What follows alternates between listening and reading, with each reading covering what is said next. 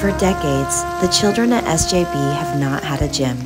And every year, when it rains, they suffer, sometimes going two, three, four days without being able to play outside. No basketball at recess, no handball at lunch, sports games being canceled. Imagine a world where every kid could play sports no matter the time of year.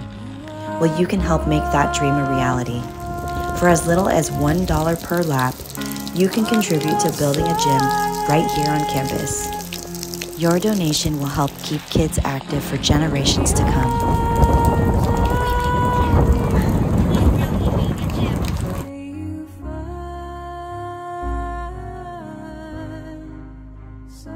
comfort.